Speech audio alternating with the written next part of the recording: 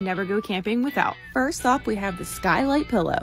It is insulated to block out the sun and the heat from these skylights. We got this right after our first trip because it was so bright in here. You just push the pillow right up into the skylight and it completely blocks the light out. If my other curtains were closed, there would have been absolutely no sunlight coming in this room. And then once you're up for the day, you just pop it, toss it on your bed like a decorative pillow. Next up is the original Benadryl anti-itch cream and nothing works better than this for me and my kids. My kids get so bit up. Right now they're currently covered in bites and I put a nice thick amount of this on them and the itching completely goes away so they can sleep through the night. One of the most important things is the Happy Campers Black Tank treatment. Nothing works better than this. I'm telling you right now, you will have no odor if you use this.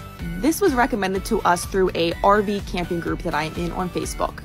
You just sprinkle it in and flush. You may have seen this one before in previous